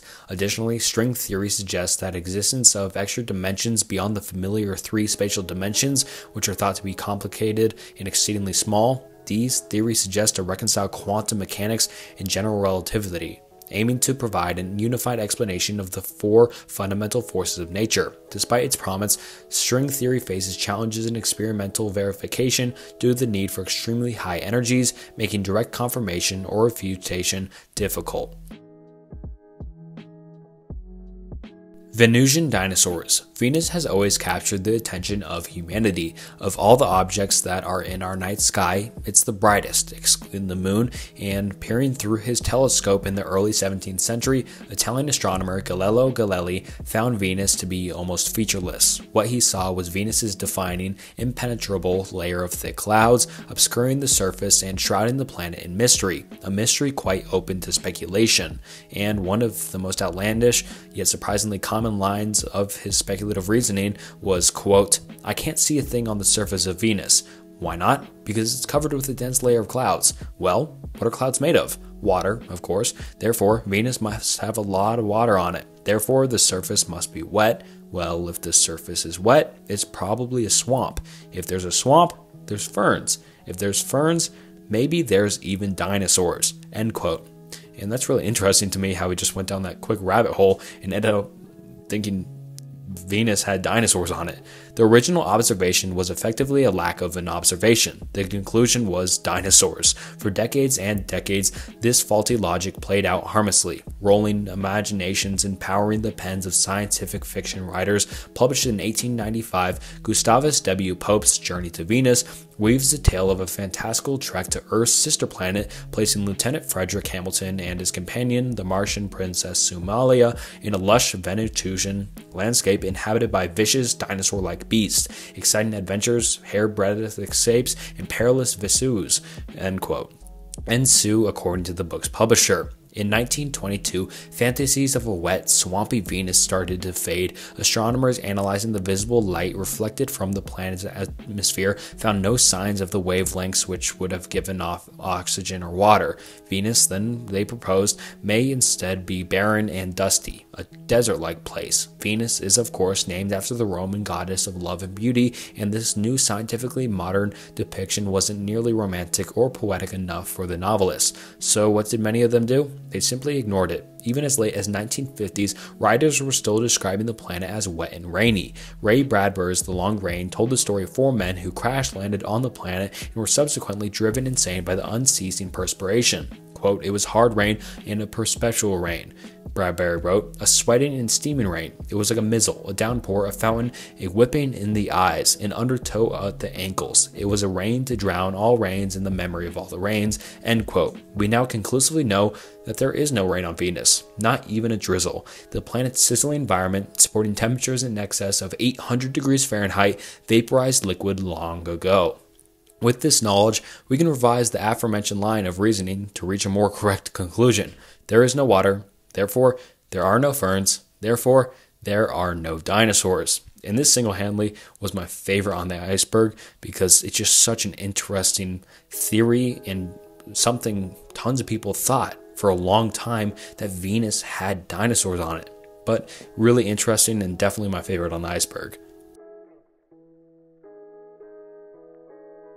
Many worlds. The many worlds theory, a concept within quantum mechanics proposed by physicist Hugh Everett in the 1950s, posits that in occurrence of every quantum event, all potential outcomes manifest in separate, parallel universes. This theory suggests that reality branches into an array of parallel worlds with every possible outcome from a quantum event. In this framework, the wave function, instead of collapsing to one outcome, encompasses all potential results, each exiting in its distinct universe, collectively forming a multiverse of countless parallel realities.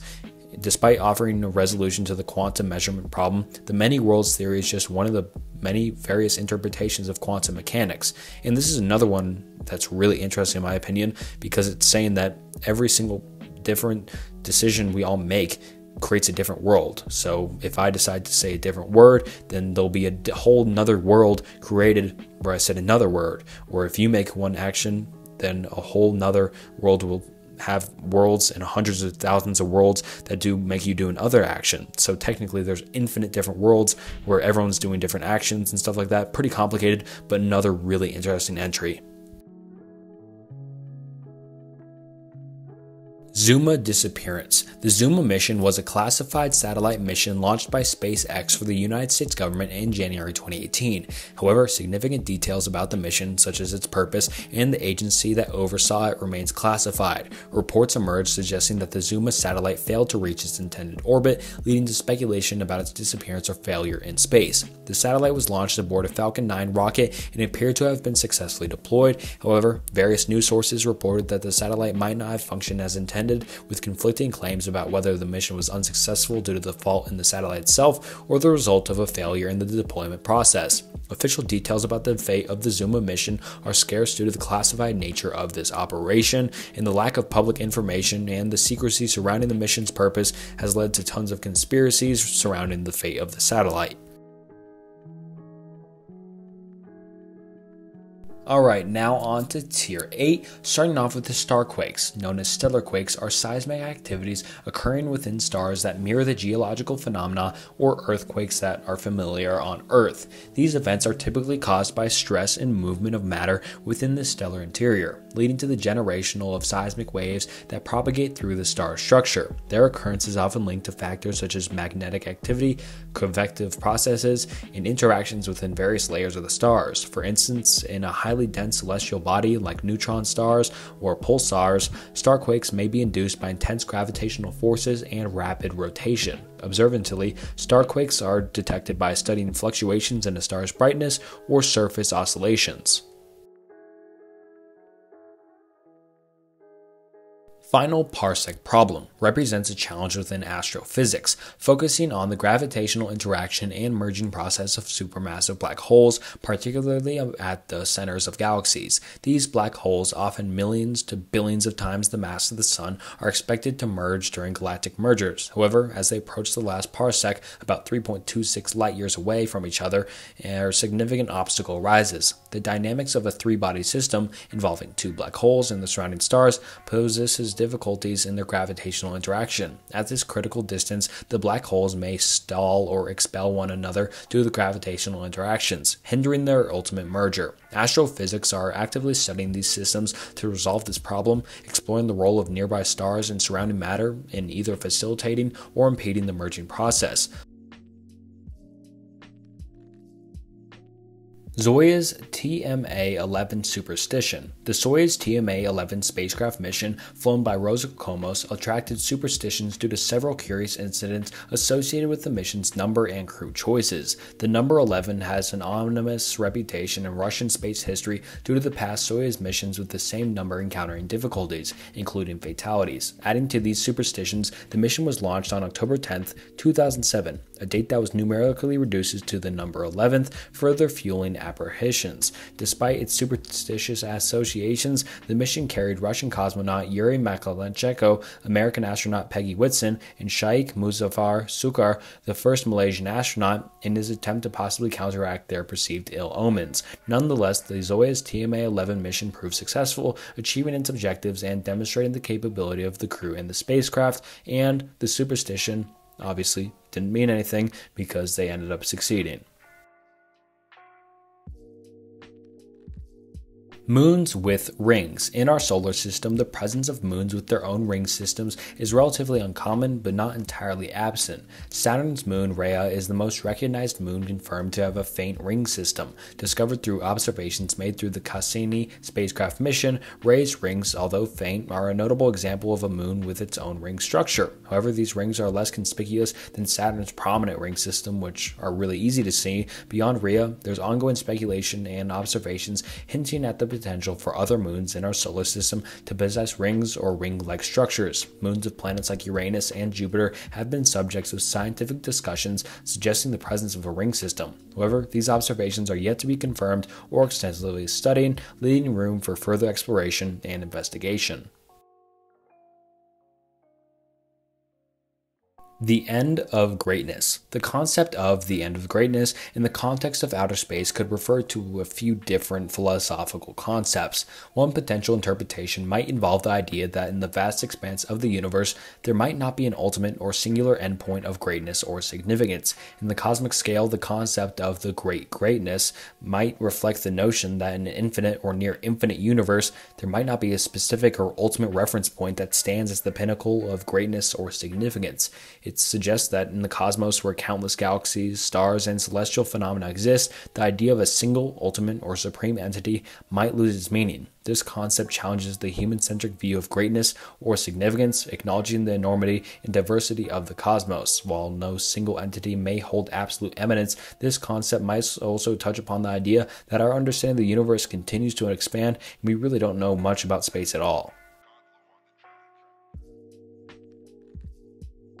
You might be a Boltzmann brain. The idea of being a Boltzmann brain is a concept from theoretical physics and cosmology that addresses the potential existence of spontaneously appearing, self aware entities in the universe, seemingly out of statistical fluctuations rather than through traditional evolutionary processes. The concept is named after the physicist Ludwig Boltzmann and is based off a hypothesis that in an infinite universe or vastly extended universe, it's possible for complex systems or conscious entities to arise temporarily due to random fluctuations in the cosmic structure. According to this theory, it's theoretically more likely for a brief, self aware entity like a brain to spontaneously emerge out of chaos, rather than being a sustained and complex evolution required for life as we traditionally understand it. A Boltzmann brain scenario proposes that in an infinitely expanding and fluctuating universe, there could be rare occurrences where conscious entities or brains might formed by just sheer chance, without the need for intricate biological or evolutionary processes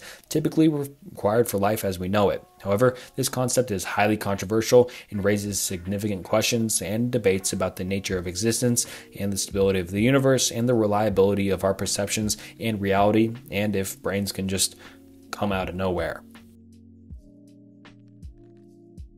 Merging of fundamental forces. The merging of a fundamental force represents a fundamental pursuit in physics, aiming to unify the distinct forces that govern the behavior of the universe into a single comprehensive framework. These forces, which are gravity, electromagnetism, and the strong and weak nuclear forces, are presently described by separate theories due to their different behaviors at various scales. Physicists aspire to establish a grand unified theory or a theory of everything that would encapsulate all known forces under a single coherent framework. However, merging these forces poses significant challenges as their behaviors diverge notably at varying energy scales particularly at very high energies or small distances, making their unification complex. Despite notable progress in areas such as electroweak theory and various string theories, achieving a complete and harmonized theory encompasses all fundamental forces remains an ongoing endeavor. And so basically, it's really hard to just get a bunch of knowledge and put it all into one kind of more digestible version and so, who knows? Maybe in the future, there will be some great scientists and geniuses that are able to just put all of this knowledge into one more digestible and understandable framework. CMB is quantum fluctuations. The cosmic microwave background radiation pervasive throughout the universe is a residual glow from the early stages of the universe and holds vital information about its history. It is intricately connected to quantum fluctuation that occurred in the universe's premortal phase. Quantum fluctuations, minute and temporary energy variations inherent in quantum physics, played a crucial role in the universe's initial conditions. During a phase of rapid expansion known as inflation, these fluctuations were amplified and stretched across vast scales, serving as the seeds for irregularities observed in the CMB by analyzing temperature fluctuations within the CMB as detected by instruments like the Planck Observatory. And basically, they're just trying to find where the universe even came from or if we can know more about the universe's infancy. And now onto the second to last tier, tier 9. If and if you're still watching this far into the video, consider subscribing because you're already this far and like if you haven't already. But like I said, tier 9 and the second to last tier, in the first entry being quantum immortality with in quotations, do not research. But we research what's not supposed to be researched on this channel. So let's get it. Quantum immortality is a thought experiment within the realm of quantum mechanics and the many worlds interpretation. It postulates that a conscious observer might subjectively experience a form of immortality due to the branching nature of the multiverse. According to the many worlds hypotheses, each quantum event results in the universe branching out into different multiple entities, with each potential outcome occurring in a separate branch. In the context of quantum immortality, the theory suggests that a conscious observer would only be aware of the branches in which they continue to survive.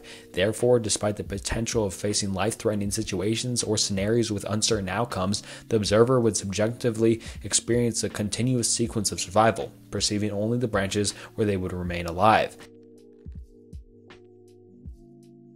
Holographic universe. The holographic universe theory possesses a compelling idea that challenges traditional perceptions of space, time, and information.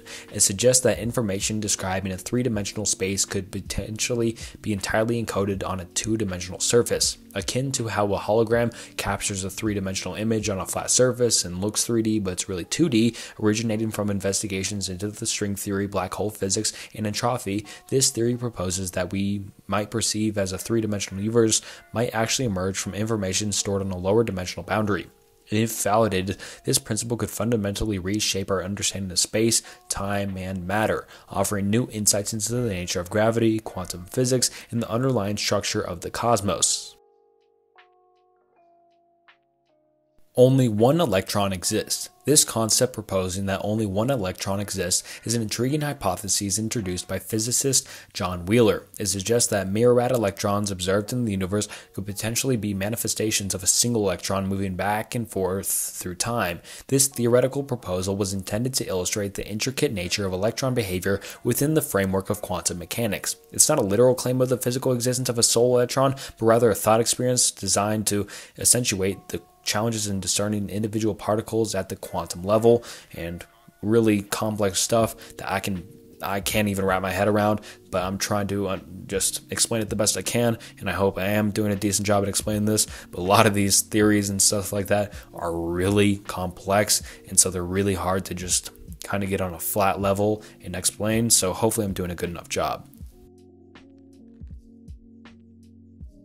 Astronaut Edgar Mitchell believes in UFOs. Astronaut Edgar Mitchell, known for his historic Apollo 14 moonwalk, openly expressed his belief in the existence of unidentified flying objects, otherwise known commonly as UFOs, in their potential visitation to Earth.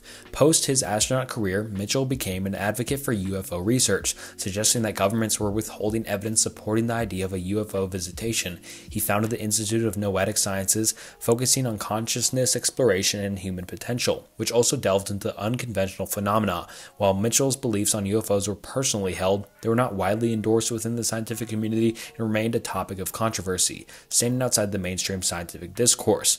But don't you think it's a little bit weird that an astronaut started doing a bunch of UFO research when he came back to Earth? Who knows? But it's just a theory and conspiracy. False vacuum. The false vacuum is a concept within particle physics and cosmology that suggests the universe might not be in the most stable state. It pertains to the idea that the universe could exist in a state that seems stable but might not be the most stable state it could occupy. This concept is central to the understanding of vacuum states in quantum field theory. It proposes that the universe might be in the miscible state akin to a ball sitting in the shallow depression rather than at the bottom of a deeper energy well. If the universe were in a false vacuum state, a transition to a more stable state could lead to significant alterations in the fundamental properties of the universe, potentially impacting space time and the laws of physics as a whole. Everything is a spime. The concept of everything is a spime introduces a hypothetical framework where every physical object is equipped with a unique identification and extensive metadata, forming a network of interconnected entities. Coined by science fiction writer Bruce Sterling, this speculative idea envisions a world where each object, from its creation to usage and eventual disposal, is tagged with detailed information. These spimes would be interconnected, exchanging real time data and allowing a comprehensive understanding of an object's history, purpose, and status.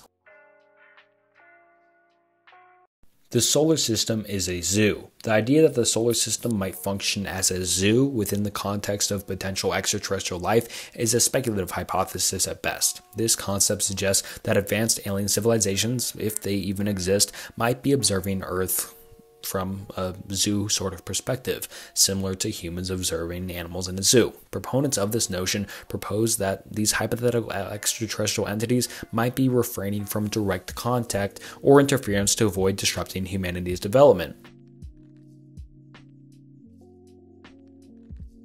Now, onto the final tier of the space iceberg, Tier 10. So let's get into it. The universe might be a fundamental particle, the proposition that the universe could be a fundamental particle emerges from certain quantum cosmological theories, notably within the framework of holistic quantum cosmology. This speculative concept proposes that the entirety of the universe, including its matter, energy, and space time, might be seen as a fundamental particle with an unknown broader context. It suggests a metaphorical comparison, likening the potential quantum nature and the behaviors of the universe to those observed in particles within quantum physics.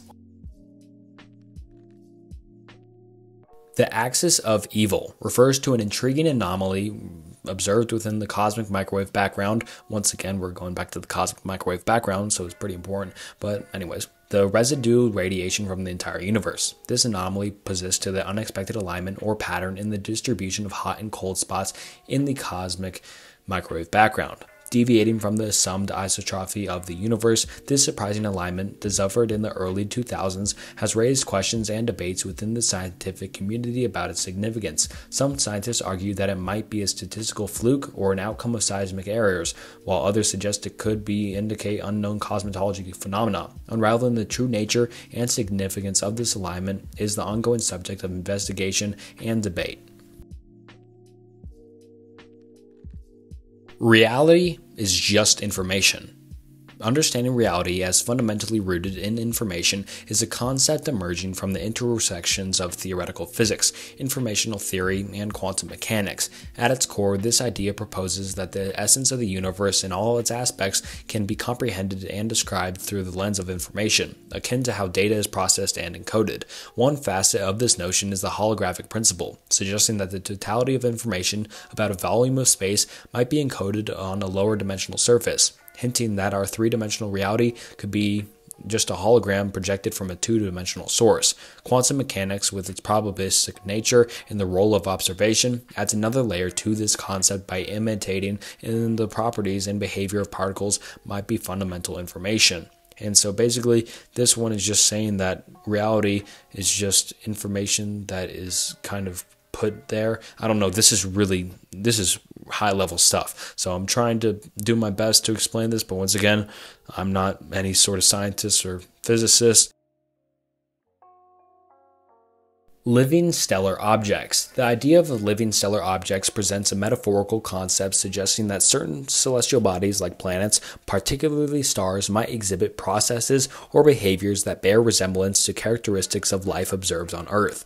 This metaphorical analogy often stems from attempts to describe the complex and intricate phenomena associated with stars using terms typically associated with living organisms, such as growth, cycle, and the notion of birth and death. However, it's crucial to emphasize that this term living is used more figurative than literal, used to draw conceptual parallels rather than suggesting actual life existing on stars or that stars actually are life. So it just kind of draws a parallel between the two, and it's not saying stars or planets actually have living ideas and stuff like that, like humans, but they just follow the similar characteristics.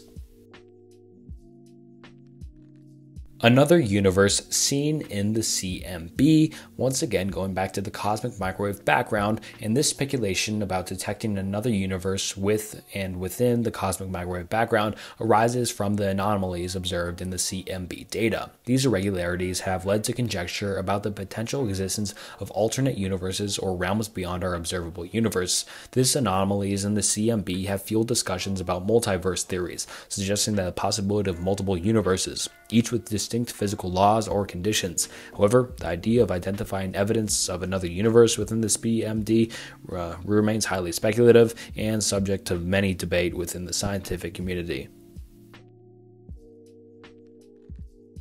Backwards time travel is possible inside a black hole. This theoretical concept of potential backwards time travel inside a black hole emerges from mathematical solutions within the realm of general relativity. These solutions suggest scenarios, particularly within the context of rotating black holes, where extreme spacetime curvature might permeate closed time like curves or paths that loop back on themselves, theoretically enabling backwards time travel. However, this concept remains deeply theoretical and no one really knows how it even work, but it is saying that black holes might be a possibility of time travel back to the future or to the past, which is a really cool theory all energy can be represented as a single wave. The concept of encapsulating all energy forms within a single wave stems from the quest for a unified field theory in physics. This idea postulates that, in fundamental level, all energy and interactions in the universe might be represented by a single underlying wave or field. Such as a theory would aim to unify the diverse fundamental forces and particles observed in nature integrating gravity, electromagnetism, and the strong and weak nuclear forces into a coherent framework. This concept aligns with the principles of quantum mechanics, reflecting the wave particle duality observed in fundamental physics. And that wraps up the iceberg. Just like that, we got the space iceberg done in about almost two hours in. So, thank you for watching if you are still watching. And it really means the world if you are watching and that you're even watching the video in general. It's crazy the growth we've had in the past month or two, past three months have been insane. Gaining so many subscribers and views. I just am very grateful. Thank you all for watching. It's just crazy. And the next goal being 100,000. So if you're watching, make sure you subscribe if you're not. 100K around the corner, hopefully. And go watch another one of my videos if you want. I may have tons of different icebergs, and I'm sure one will pique your interest. So, with the outro out of the way and the entire iceberg done, see you guys next time.